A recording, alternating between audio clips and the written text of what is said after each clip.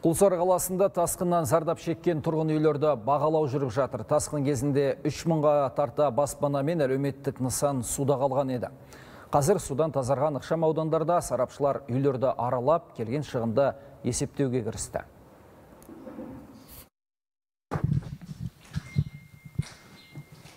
Қазір бағалау комиссиясы Құлсары қаласындағы жадырасын ықшам тұрғын үйлерді тексеріп, келген шығын көлемін есептеп жатыр.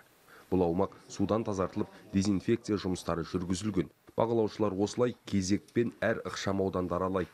Тұрғындардың комиссиядан үміті көп.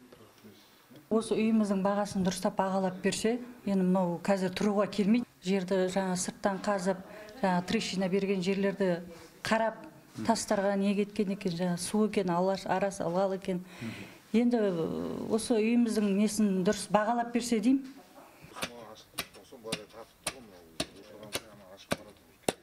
Бағалау комиссиясын ауқымды жұмыстар күтіп тұр. Сарапшылар алдымен үйдің іргетасына, едені мен қабырғасына баса мән береді. Келген шығыны есептелгеннен кейін бағалау комиссиясы шешім шығарады.